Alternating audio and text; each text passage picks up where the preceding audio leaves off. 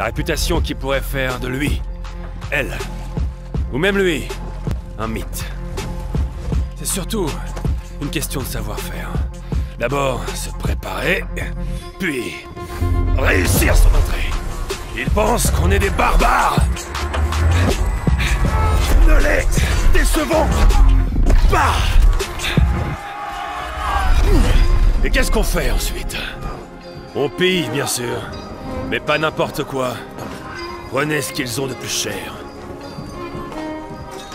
Ils ne s'attendent pas à ce qu'on épargne qui que ce soit. Mais laissez-en au moins un. Lui, par exemple. Va dire à tout le monde que le diable est ici chez lui, maintenant